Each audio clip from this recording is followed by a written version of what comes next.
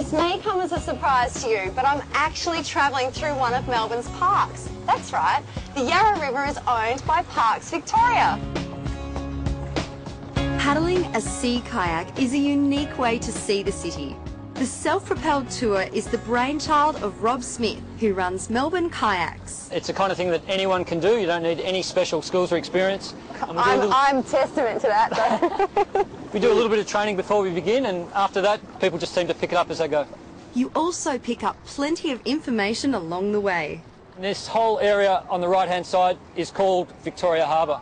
It was the busiest port uh, in Melbourne right up until the 1960s, but with the advent of container ships, the infrastructure just couldn't handle the larger ships.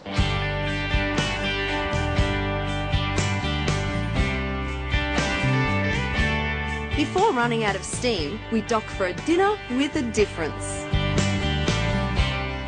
Ah, that is a new definition of a delivery boy. Who's hungry? Chippy. What are people's reactions when they see the city at night? Well, most of them just can't believe they've never done it before, and they're just uh, basically overwhelmed with how the, the city looks so completely different from the perspective of paddling on the Yarra. Most onlookers can't believe it either. People usually get up out of their chairs and take a lot of photos. Particularly the Japanese are really interested in the idea of people paddling down the river in the middle of a big city. As night arrives, Rob continues to shed light on the origins of this sparkling city.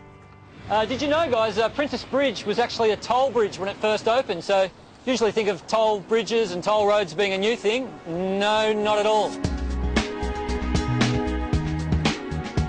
The three hour journey costs $89, which includes the fish and chips.